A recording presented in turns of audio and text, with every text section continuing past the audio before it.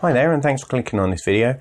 Um, we're just going to go through uh, just quickly how to enable and disable the VLANs on a Real Presence Trio. Uh, the reason that you might want to do this, um, generally if you imagine that you are taking a Real Presence Trio uh, 8800 uh, or in fact any of the, the, the, the Polycom phones uh, into a customer environment or into a lab environment, especially if that has already been set up with a voice uh, LAN uh, which normally, you know, uh, voice VLAN, which is normally set up if someone, say, for instance, has another phone system.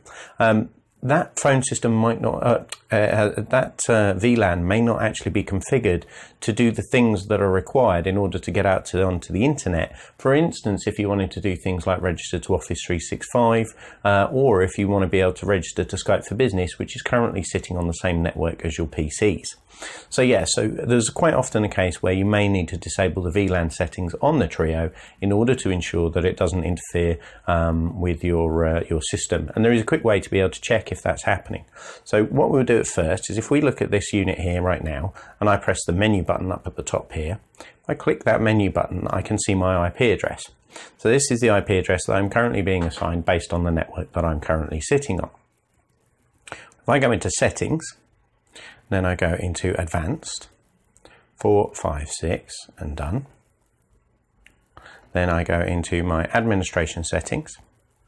I'm then going to go into network configuration, network interfaces, Ethernet menu, because we're currently running over the wired connection. And then we're going to go down to the VLAN menu, which is down here. Click on the VLAN menu.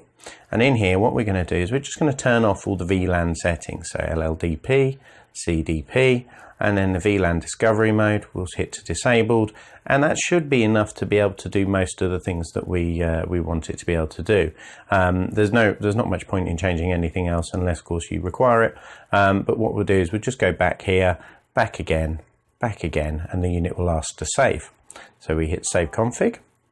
And what the unit will do now is it reboots and it will attempt to get another IP address off another um, uh, VLAN if it is available. Um, because what it should do now is just default to the basic VLAN um, and not actually pick up you know any any VLAN identifications and tags that are uh, that are out there. So this is a unit rebooting now, and it will come back up.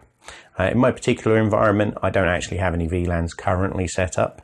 Um, so the IP address that I will receive is the same, but by going in and looking at that bit at the top, if the IP address has changed, there is a good potential chance, uh, especially if it's a different subnet, um, that comes up that the unit has actually gone onto a different network um, and therefore might be the same one that, for instance, your PCs are sitting on.